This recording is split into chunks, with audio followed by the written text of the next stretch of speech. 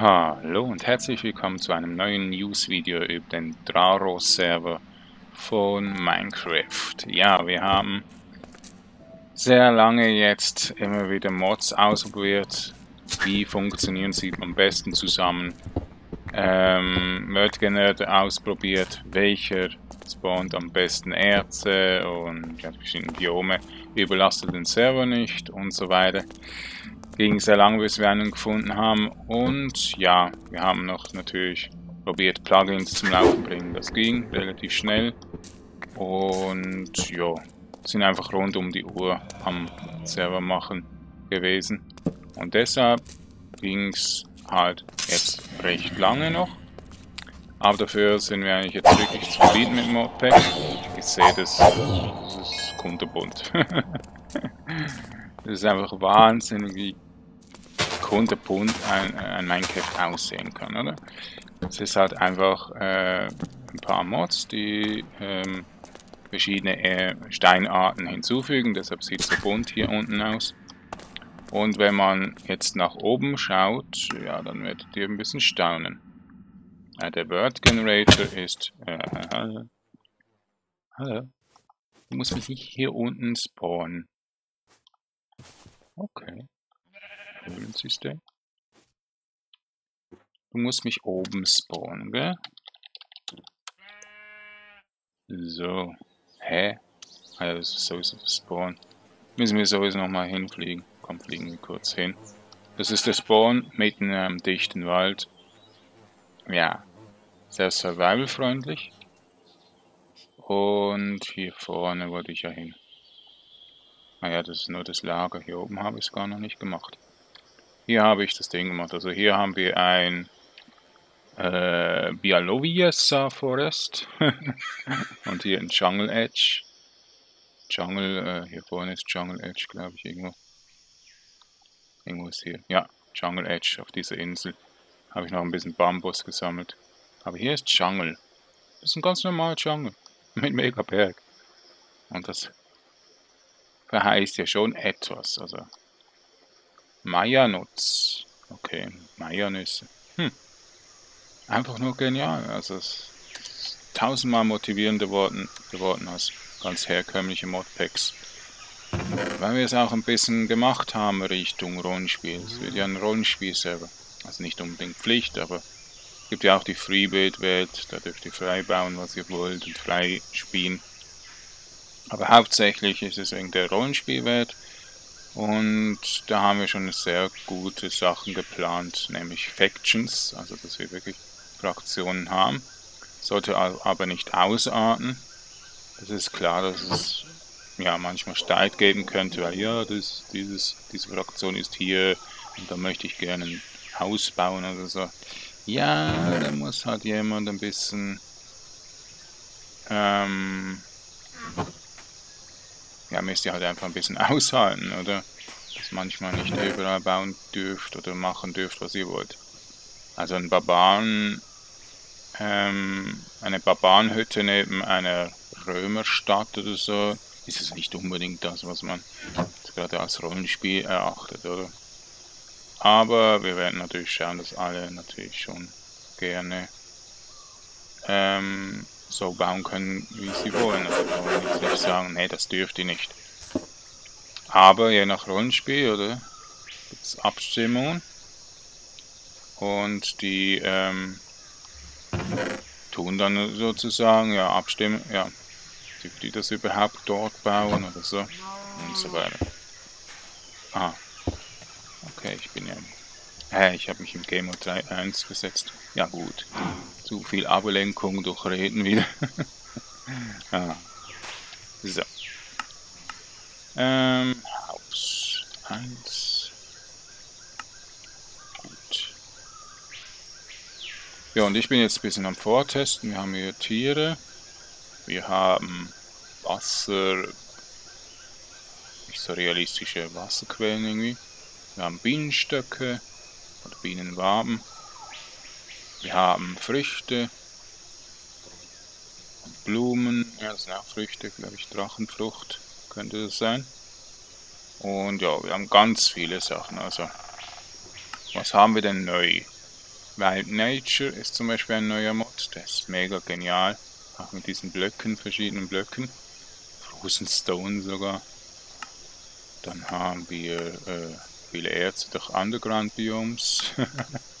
Underground Biomes, viele Blöcke. Travelers Backpack haben wir drin. Class Armor, zum Beispiel können wir Necromancer werden. Und ja, ein Schloss.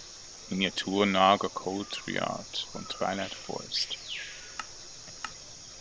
Ja, Statuen, Status Mod, Bubble. Ganz viele Sachen.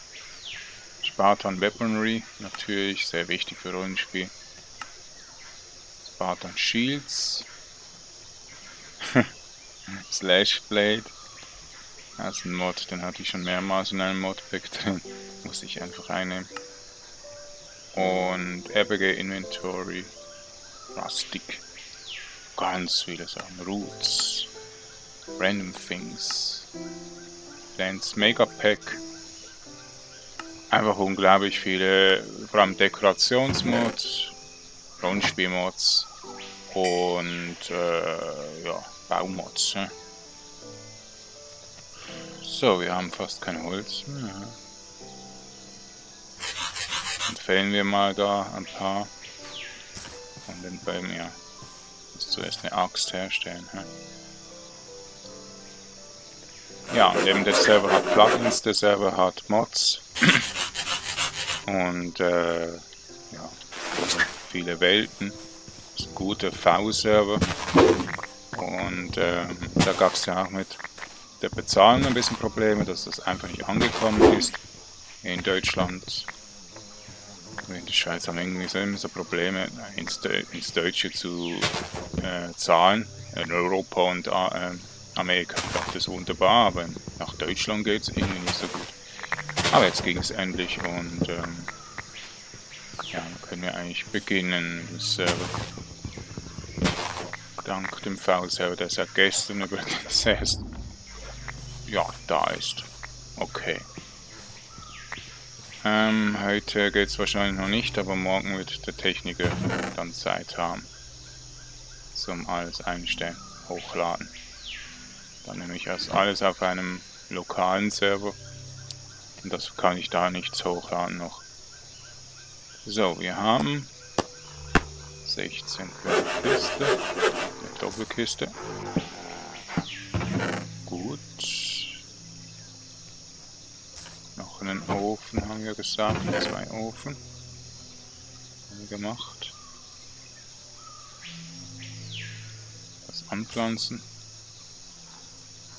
Ja, die Sache ist, wir haben einfach immer zu viele Items, aber das können wir dann recht schnell mit einem Backpack verbessern. Dass wir endlich ähm, auch Platz haben. Mehr mit Erde momentan nicht. Cashewnüsse. Noch mehr Eisen direkt mal ein bisschen Panzer. Nein, nicht drauf.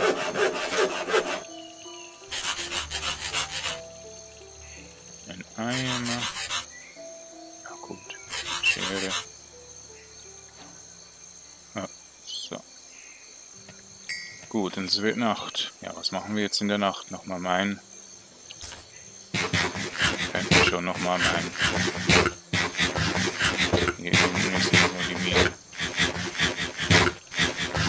Ich habe noch keine Schafe gesehen hier im Dschungel. Ah, hier ist die Mine.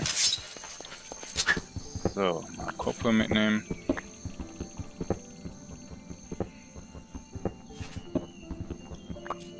Ja, jetzt haben wir noch nicht so viele Anfragen bekommen natürlich.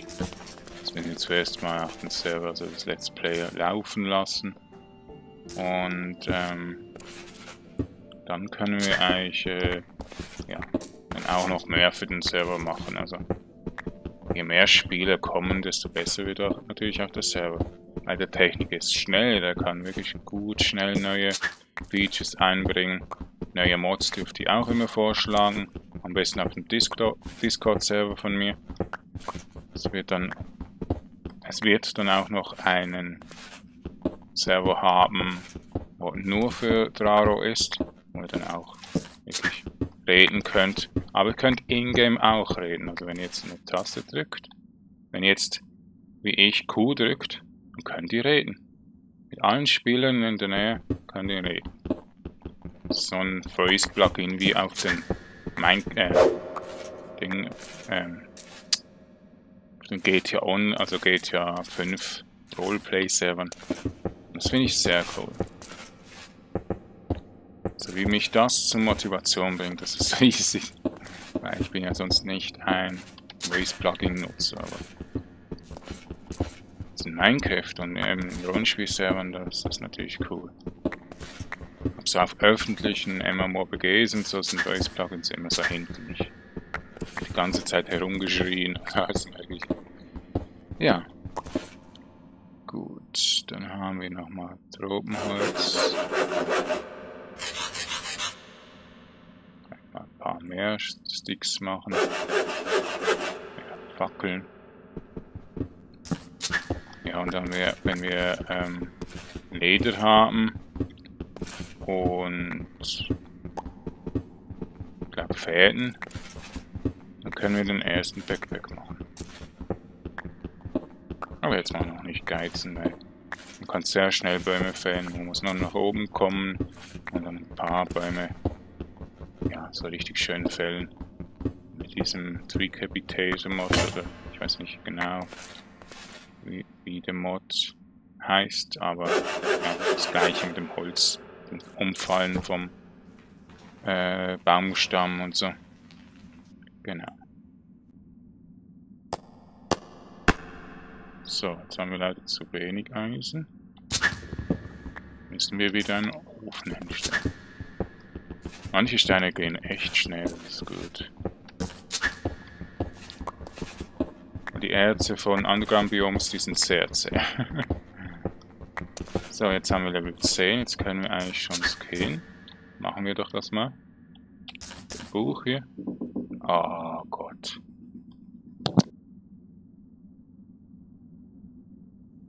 Spinnen wieder. Nicht nur. So. Das sind meine Mitbewohner.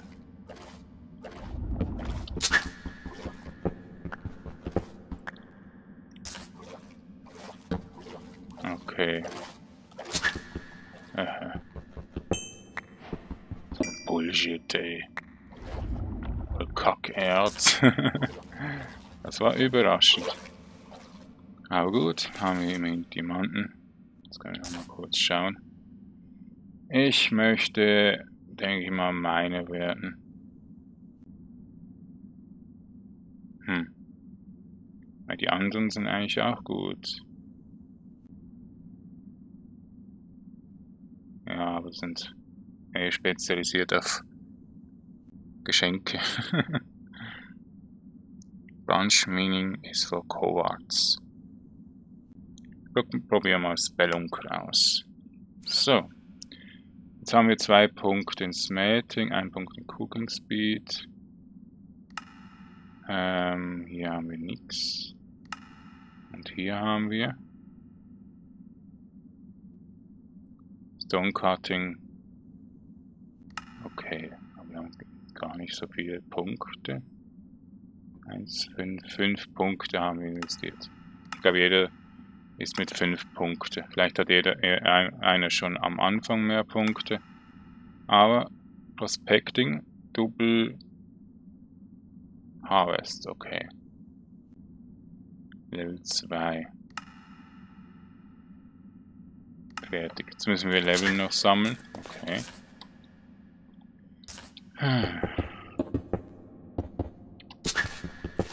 Ähm, weiter runter. 12. Jetzt.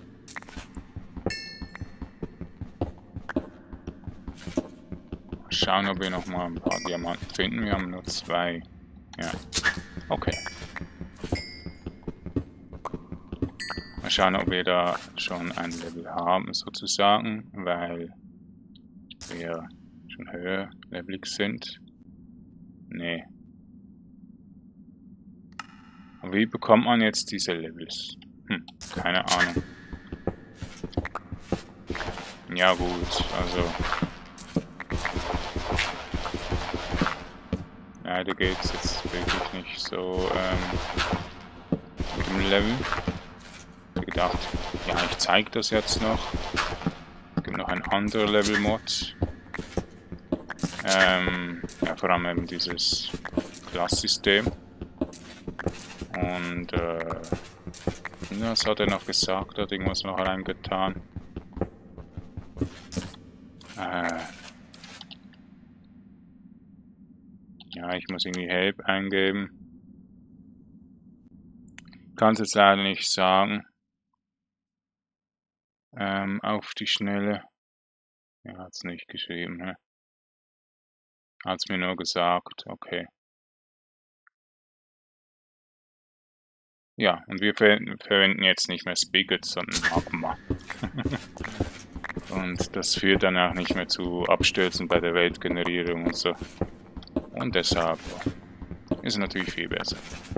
So, das Mob-Pack wird jetzt einfach mal noch in der Reversion ähm, sein, also noch nicht downloadbar sein.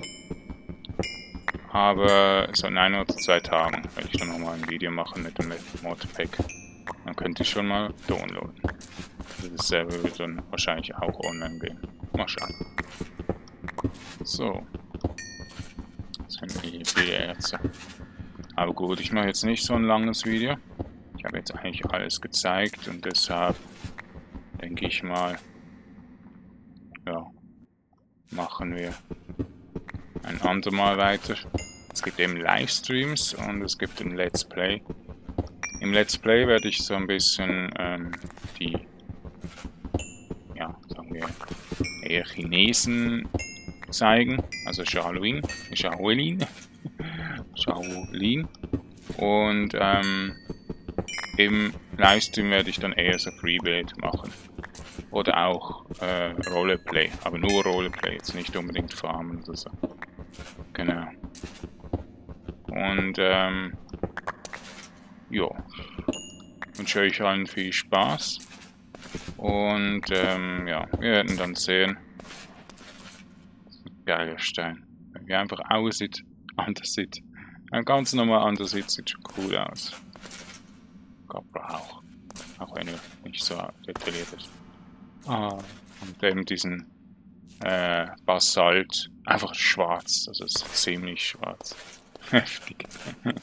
Gut, ich meine weiter, ich tue weiter testen und ja, dann viel Spaß. Tschüss.